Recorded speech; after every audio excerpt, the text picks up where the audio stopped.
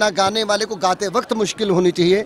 We belong to entertainment world हम मनोरंजन की दुनिया से संबंध रखते हैं। हमारी कोई भी चीज़ मुश्किल नहीं आसान होनी चाहिए। तो मेरे लिए कोई भी गाना ना चैलेंजिंग होता है ना मुश्किल होता है। क्योंकि मुझे जो भी अपॉर्चुनिटी मिलती है उसमें एक बात का ध्यान रखा जाता है कि चीज़ साधारण कन्विक्शन के साथ हो इंटरटेनिंग हो। दैट्स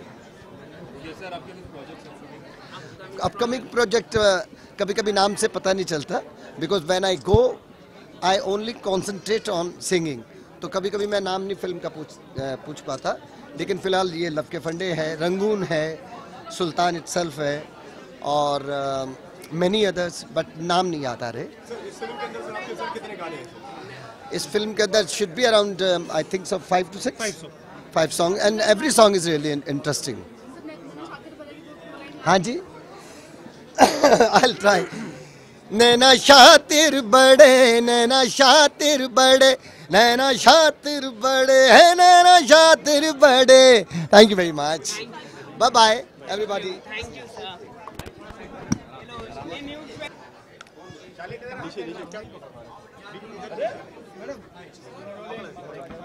किधर देखना है ये बता दीजिए पहले कौन पूछ हाँ?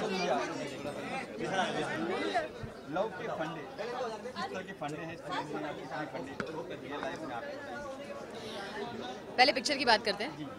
आ, फ़िल्म में लव के फंडे मींस गर्लफ्रेंड बॉयफ्रेंड्स हैं majorly half of the film तो आपको पता नहीं चलेगा कौन बेसिकली किसका गर्लफ्रेंड है और कौन किसके बॉयफ्रेंड है।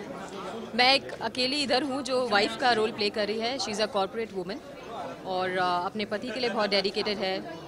अपने घर के लिए बहुत डेडिकेटेड है। उसको वो बाहर के लव के फंडों के चक्करों में नहीं है।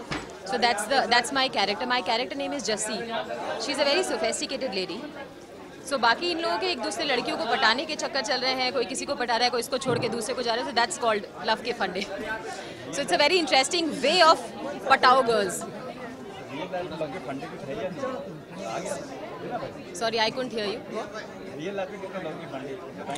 real life के ओके रियल लाइफ में आई एम वेरी फोकस्ड मेरे कोई आई डोंट बिलीव इन चार पाँच boys boy friends and this that so I don't believe in that I believe in only one boy friend who is there in my life and will be there in my life throughout thank you any plan to get back to TV I am there on the TV there is one show called Gupchup Gupchup on SAB TV I have started shooting with them and I am playing a main lead in that and on floor, we have already